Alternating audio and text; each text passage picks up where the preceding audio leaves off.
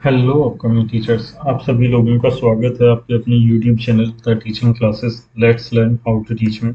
और आज इस वीडियो में हम लोग कवर करेंगे वेब बेस्ड लर्निंग तो देख लेते हैं इस टॉपिक में हम क्या क्या कवर करेंगे। हम कवर करेंगे इसमें वेब बेस्ड लर्निंग और characteristics of web based learning web based learning होता क्या देख लेते हैं।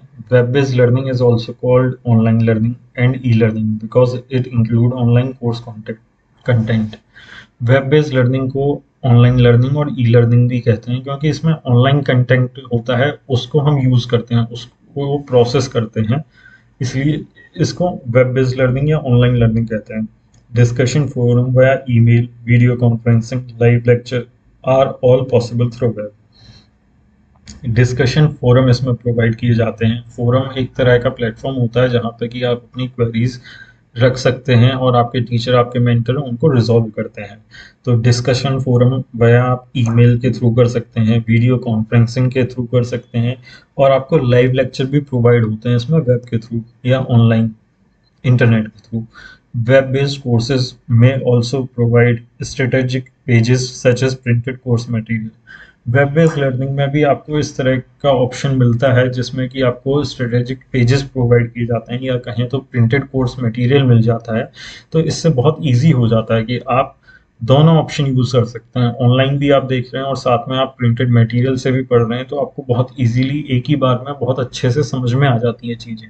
जैसे कि आपकी ऑफलाइन क्लासेस होती हैं ऑफलाइन क्लासेस में भी आपको प्रिंटेड मटेरियल मिलता है तो यहाँ पे भी आपको प्रिंटेड मटेरियल प्रोवाइड किया जाता है। तो देख लेते हैं characteristics of web based learning empowered by digital technology e learning बहुत हद तक एम्पावर्ड होती है, बहुत हद तक डिपेंड होती है डिजिटल टेक्नोलॉजी पे। ये बहुत ज़्यादा इंकरेज करती है डिजिटल टेक्नोलॉजी को। Computer enhance learning e learning में बहुत ज़्यादा यूज़ होता है कंप्यूटर का तो ये कंप्यूटर लर्निंग को इन्हांस करती है। टेक्नोलॉजी इनहांस लर्निंग टेक्नोलॉजी का बहुत ज़्यादा सपोर्ट और बहुत ज़्यादा यूज़ होता है वेब बेस्ड लर्निंग में। Online learning online learning carried out through the internet or web based technology with no face to face interaction is necessary. Online learning जो होती है, इसमें इंटरनेट के थ्रू आपका और वेब बेस्ड टेक्नोलॉजी के through आपकी लर्निंग जो है वो पॉसिबल होती है। तो इसमें कोई भी आपको फेस टू फेस इंट्रेक्शन की ज़रूरत नहीं होती। जैसे ऑफलाइन क्लासेस जो होती हैं, उसमें आपको टीचर के साथ फेस टू फेस होना पड़ता है। इसमें फेस टू फेस होने की ज़रूरत नहीं पड़ती। Easy access. The learner get access to learning by breaking all the barrier of time, place, and distance.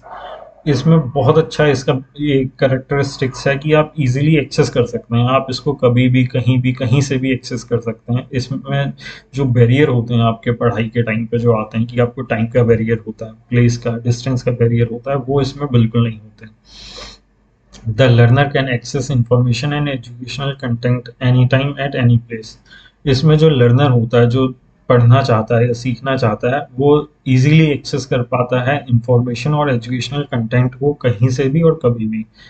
E learning is available even in even in area where there is no school और college e learning वहाँ पे भी easily available होती है, जहाँ पे कि school और कॉलेज नहीं अवेलेबल होता। है effective media e learning can prove an effective media and tool for facing the problem of lack of train teacher shortage of school and providing quality education to the number of students residing in far and wide corner of country. E learning बहुत अच्छा media है, जिसके through की आप इस तरह की problem जो फेस करते हैं, उनसे छुटकारा मिल जाता है। जैसे कि आपकी लैक ऑफ़ ट्रेन टीचर अच्छे टीचरों की कमी होती है, स्कूलों की शॉर्टेज होती है, और ये क्वालिटी एजुकेशन प्रोवाइड करता है बहुत से स्टूडेंट्स को जो कि अब देश के दूर दराज के इलाकों में रहते हैं। Flexibility. The flexibility of e-learning in term of delivery. Flexibility provide करता है लर्निंग और वेब बेस्ड लर्निंग कंटेंट को डिलीवर करने में. In term of delivering media ये आप लैपटॉप और मोबाइल के थ्रू भी एक्सेस कर सकते हैं. टाइप ऑफ़ कोर्सेज इसमें कोर्सेज का बहुत सारा ऑप्शन मिल जाता है. आपको आप कोई सा भी कोर्सेज जो है ज्वाइन कर सकते हैं. एक्सेस में prove very beneficial for the learner easy access इसमें प्रोवाइड होता है। जो इसमें एक्सेस की फैसिलिटी होती है, वो बहुत बड़ा बेनिफिट प्रोवाइड करती है लर्नर को कि वो कभी भी इसको एक्सेस कर सकता है और इससे अपना जो है इंफॉर्मेशन ले सकता है। तो यहीं पे हमारा वीडियो ख़त्म होता है। आई होप आपको समझ में आया होगा आज का टॉपिक वेब बेस्ड लर्निंग का। और इससे रिलेटेड कोई भी क्वेरी हो, कोई भी इंफॉर्मेशन हो, आप, मुझे भी सजेशन कोई देना चाहते हैं तो आप कमेंट कर सकते हैं। और कोई भी आपको कमी लगती है इसमें, वो मुझे बता सकते हैं। और इसके अलावा कोई भी प्रॉब्लम होती है जो आपको समझ में नहीं आती तो आप मुझे उस पर भी कमेंट कर सकते हैं। मैं ट्राई करूँगा, जल्दी से जल्दी उसको रिजॉल्व कर पाऊँ। So thank you guys thank you so much